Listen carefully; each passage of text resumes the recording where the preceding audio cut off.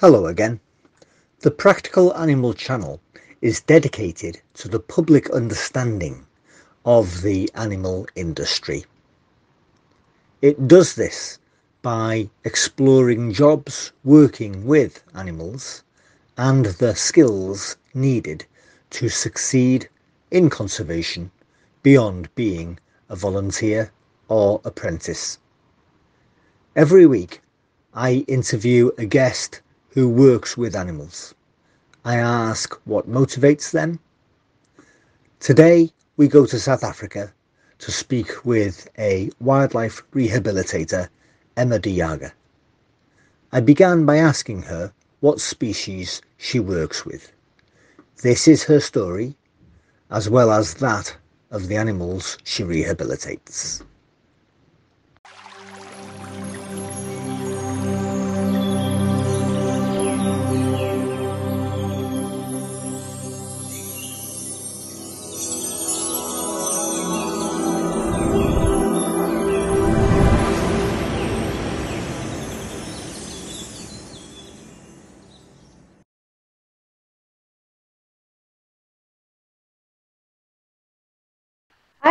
Actually work with an array of different species, up to about 100 different species at the center, um, from little dwarf mongoose up to hippo and everything in between.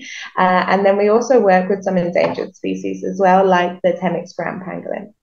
Fantastic. Right, I'm going to try and pronounce this properly. I'm probably Okay. going to miserably. You are the co-owner and rehabilitation manager at the Umoya Khulula Wildlife Centre. Yeah, perfectly. Yes, yes. So we we What do you do? started Umoya whew, six years ago now. Um, there was definitely a need for a good rehabilitation center that was actually getting animals back out into the wild and a different array of animals. Um, unfortunately, the increase in the illegal wildlife trade and the pet trade, um, snaring victims has increased immensely. So we really felt a need for for another center and for us to try and save these animals. And you work with pangolins, lesser bush babies, is it? Yes, so we work with lesser and thick-tailed bush babies. Um, so they're the two primates we work with. Hippos, caracals, servals, warthogs, mongoose, birds of prey, um, also other birds. Um, so yeah, we do a real variety, and basically any animal that's been hurt by humans, we help. I must say it sounds fantastic. Now you don't have a South African accent. No. How did your career begin, develop to today? So I'm from the UK originally, um, and I came out here a few years back when I was 18 years old um, to volunteer. I, I was crazy about animals, and I had um, really wanted to come to South Africa and work with animals. And then I kind of didn't leave. uh, uh, I went home for a few years. I also worked with other species in Australia and Thailand. I was very lucky.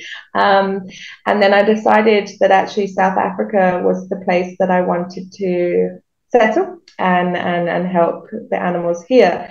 So that was not giving away my age, but that was about 16 years ago. Grand. Yeah. How much of a challenge was that plan to actually put into action and to move out there? It was very hard actually to move out here, especially where we are. We're in the sticks, we're in the middle of nowhere in the bush, um, which I love and I wouldn't have any other way. Um, but I am from just a Reading, just outside London. So it was a very big change for me.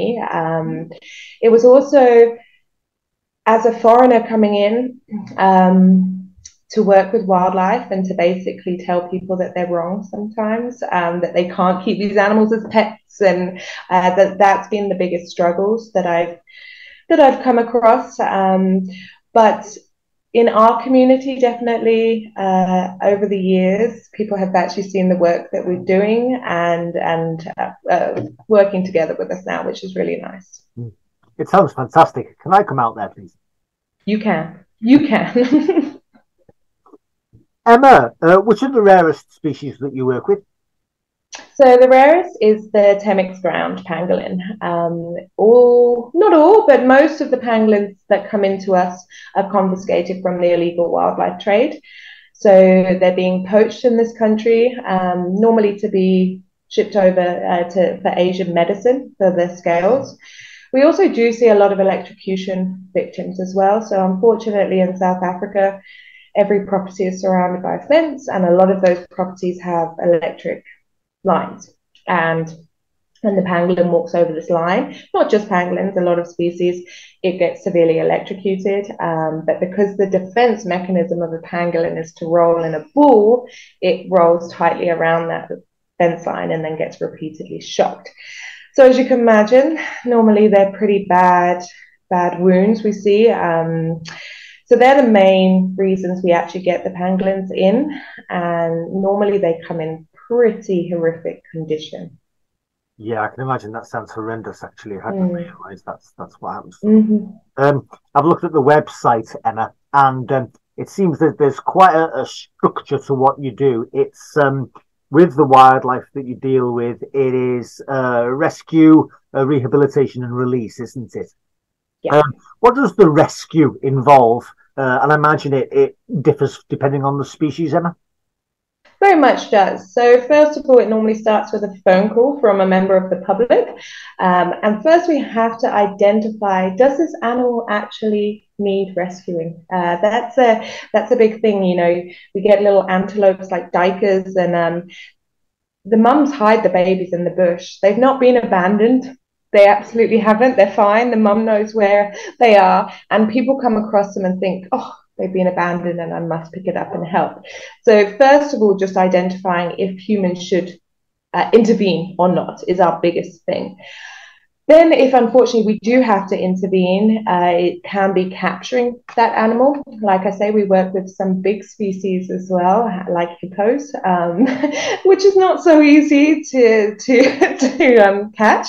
Uh, we actually did one just recently that had a baby had fallen into a cement dam and couldn't get out.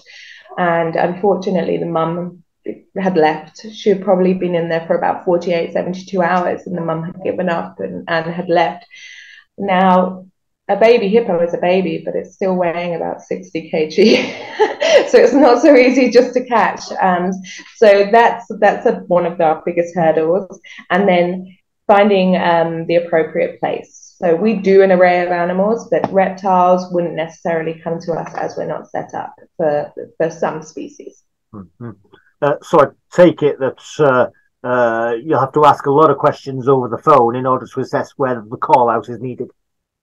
Very much, and pictures. Uh, also, people don't know species sometimes. They get very confused with the different species. Um, and they might say one species so we prepare for that species in the sense of the box we take the you know the, the equipment that we're taking with us and we get there and it in fact is a different species altogether and everything is a baby so everyone always says oh it's a baby and sometimes it can be two years old uh, you know so pictures is is our best best friend that we can then determine what we actually need because travel boxes and equipment is actually really vital on rescuing these animals. Mm-hmm.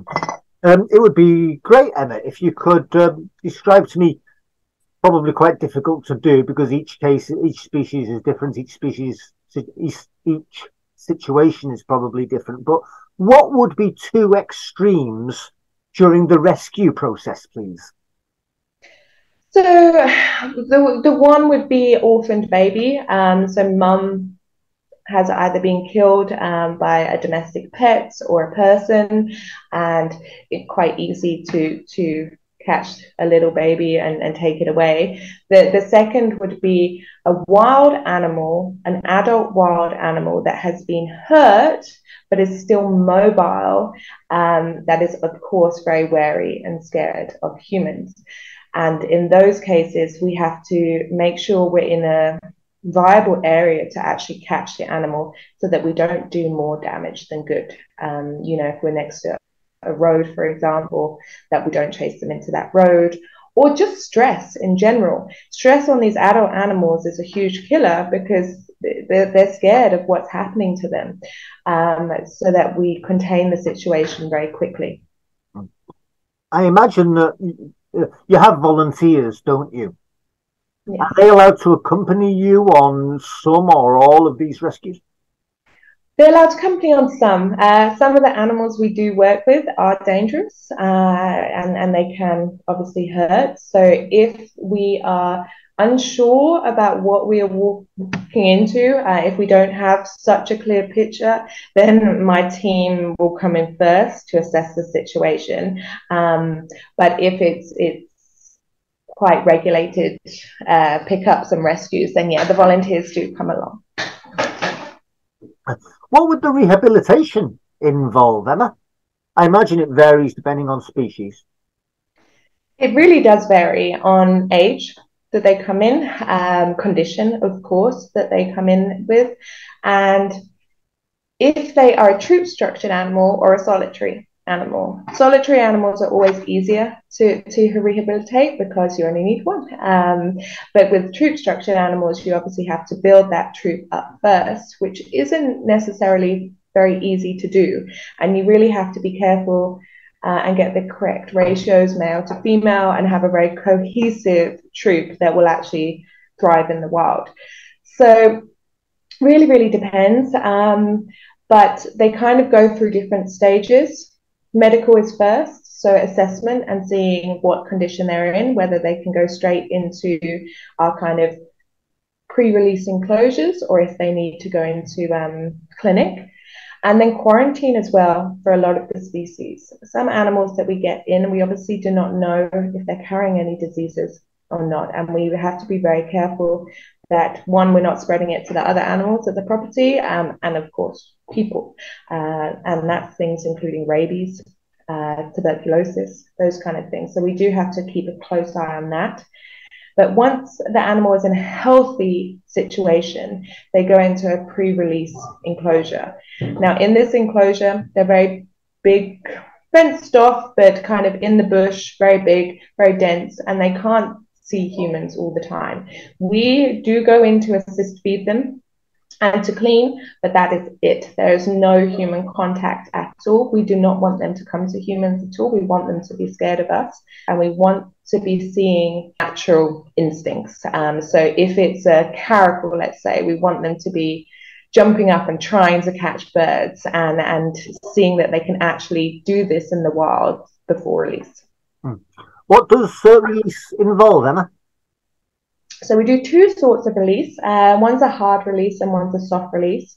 A hard release is pretty simple. Again, it's for those wild animals that have been maybe caught in a snare or hit by a car, just need a little TLC and then back out. We don't need to teach them anything. Um, and then a soft release is a really long winded process. So, first of all, we have to find a site and a, and a safe site. Once we found a safe site, we have to find a place in that site that doesn't already have too many of that species in that area. We'd hate to overpopulate the area, and then in the end, they'll just get pushed out. Once we have found that and there's sufficient food and water, we then actually build an enclosure. We then take the animals over, we'll put them in that enclosure for a week or two weeks just so they can acclimatize to their surroundings, and then we open the door. We still supplement feed them, but we start lessening and we monitor them very, very closely to make sure that they're sustaining their weight and everything. So for some animals, you know, two weeks and they're like, see you later, I'm good. Um, for some, it takes a little bit longer. And we found we've been most successful when we go in their speed. Uh, in captivity, you've got, had a plate of food most days, you've had shelter, you haven't had to deal with predators. And now all of a sudden, the world is hard and the world is, you know, ruthless. And you have to kind of take baby steps towards that to actually make sure that they can survive in the wild. So we also do use trackers on them as well, some of the species, so that we can keep monitoring them for quite a while afterwards to make sure that they're doing what they're meant to do. if you have um, big cats, Emma, um, and they have been some time in captivity because of their rehabilitation needs, um, is the setup such that they don't come into contact with you anyway, or do you sometimes get this situation where they become quite tame? And if so, does that cause a problem for release? Yes. Um, so we get a lot of caracals and a lot of servals that have been pets. Uh, it's a big trade in South Africa to have these as pets. Um, so they're normally very tame when they come in. So you do have to really go through these rehab process of kind of almost weaning them off people um, and, and having a situation where they don't depend on a human. Normally, when they start hitting sexual maturity, their instincts do kind of take in and, and they want to be a wild animal again. But that's that's where the release is just so so important. When you've got animals that still are a little bit habituated to people, if you haven't got it completely out of them, you need to make sure that in a property that they're not going to see a human. That there is there's no residents there's no lodges there's nothing around for hectares and hectares and hectares. And you'll find after about six months of completely them being in the wild all those instincts take over. And um, in fact you know you don't have a problem at all. What would constitute a problem animal relocation emma we actually get a lot of these. Um, so they're called DCA uh, cases, which is a damage causing animal. Um, we get it a lot with leopards and we get it a lot with hippos. Um, obviously, when it's the leopards, it's more people's livestock or game um, that they're predating on. And then with the hippos, it's normally either destroying crops or being a threat to humans in villages. Um, so these animals either get relocated or they get euthanized. Obviously, we're pro relocation, um, but some of these animals are not so easy to, to relocate. So when it comes to hippos as such, um, we have with with our department in our area, they have agreed to give us a three month time period that we're allowed to relocate that animal. And if we can't do it in that free time, three month time period, then um, then unfortunately the, the other has to happen. But we have been very successful at relocating hippos, and actually we had a huge drought in South Africa for several years. So populations of hippos in some places declined dramatically, whereas actually in our area it increased dramatically. So we have too many hippos this side, but there are viable release sites.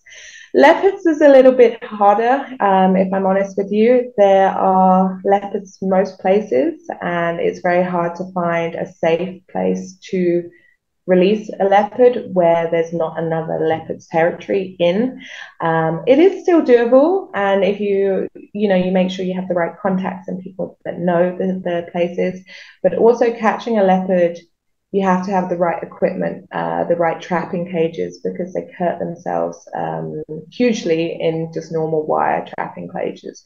So we have seen cases where people have tried to relocate them, um, but unfortunately they not use the right equipment. And then in the end, they actually break their teeth, um, they rip their claws off, and you can't release a carnivore without their teeth.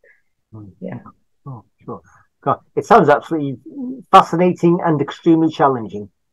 Yes, it's very challenging. It's very, very challenging. And it's the biggest challenge for me is trying to get people to realize we have to live together. um, you know, we really have taken over most of their their wildness, um, and we really need a situation together. I get a phone call once a week about a hippo that maybe is walking in the village. It's not hurt anybody. It's just come out of the river. It's it's really not doing anything. But people want to shoot it immediately they want it away um, because of the fear. and I'm not saying we should wait till it does hurt somebody, but we need to have this happy balance of how do we live together? Because if it carries on like this, we're just going to wipe out all the animals. Uh, it sounds as though you've got lots of very sophisticated protocols in place, Emma. Um, is that something that you and the team came up with, or did you have to go to the wildlife management textbooks, or, or what? So I think it's a bit of both, really. Um, you know, I think a lot of rehabbers will say it's trial and error, to be honest, sometimes. Um, and what will work for one animal, even of the same species, might not work for the next, um, depending on their situation.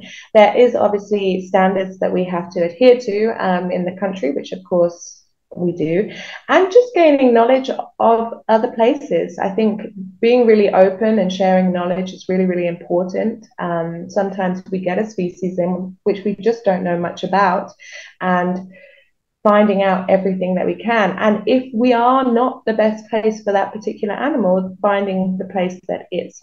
Mm, mm, mm. Um, Emma, when you inspect uh, a release site, uh, mm-hmm. what do you look for in order to approve it? So, depending on what species I'm going for, um, so first will be the size of the property. Um, really, we're not looking at anything under 5,000 hectares um, or below that because, like I said, I need that space for those animals to, to wild up. Hardly any humans is always a winner. Um, fencing, as I said before, electric fences cause huge problems with animals, so I'm not a fan of electric fence. Um, the top is not too bad, but this bottom trip line of electric fence. And then obviously it needs to have food, it needs to have water. And depending on the animal, if this is a hand raised animal, so it's been in captivity from, from, you know, a day old, the predatorial awareness is not as good as you can imagine. So I wouldn't want to release those animals into a high populated predator area. Um, it kind of is just setting them up to fail. So it really, really differs uh, from the species and, and the individuals. Do the volunteers come for three months from all over the world? Do they have a meet and greet at the airport? How does the volunteer program work? So we do take in international volunteers. Our max numbers is up to 12. Um, and they come from all over the country, UK, America, you know, a lot from the um, Europe, uh, Australia, everywhere. So there is a volunteer program that they they come to.